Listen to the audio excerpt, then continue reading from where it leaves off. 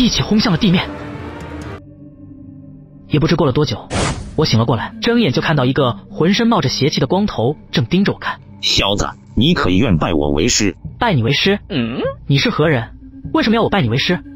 我是幽无邪，飞升至今已有一百五十万年。刚才想一刀结果了那火烈鸟，没想到连你也差点轰杀。我看你根骨清奇，资质绝佳。如果你肯拜我为师的话，将来必能有一番大成就。我要是说不同意，你便会放弃这个决定吗？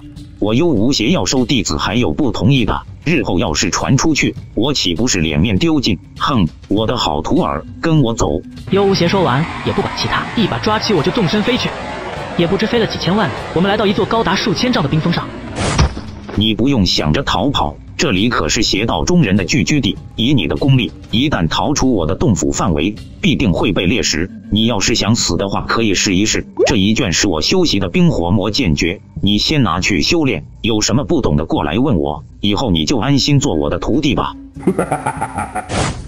我只是看了一眼这所谓的冰火魔剑诀，并没有去理会它。我现在缺少的是功力，并不是什么功法。九转生死玄功的每一转都是前一转功力的十倍。如果达到第九转，那是一个可以屠神入魔的境界。虽然不知道为什么，这门不知何人所创的武学，所修炼到的最高境界只有第六转。我的意念剑体大法和九转生死玄功已经够用了。既来之则安之，我不再理会其他，安心进入了修炼状态。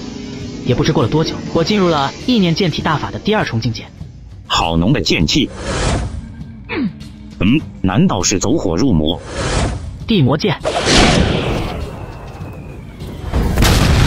小畜生，你竟然算计于我，气死我也！给我爆！你竟敢暗算我？怎么想动手了吗？我难道不应该吗？我只是借机宣泄一下体内混乱的剑意。以你的功力，难不成还会因为我这几年功力的地魔剑受伤？既然你根本没受伤，你还有必要生气吗？嗨嗨嗨！幽无邪，你竟然阴沟里翻船，被一个小家伙给打飞了，真是丢脸丢大了，哈哈！一个背着长剑的男子，不知道何时出现在幽无邪的身后。我的事情什么时候轮到你来插手？找死！你竟然练成了冰火魔剑诀，你现在才知道？幽无邪，别以为我怕了你，邪剑灭世诀。